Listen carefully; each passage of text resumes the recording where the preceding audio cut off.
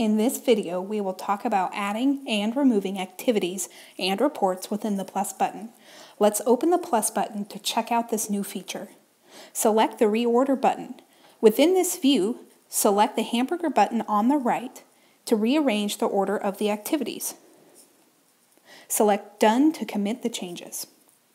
To remove reports or activities, select the Reports button, then the Reorder button.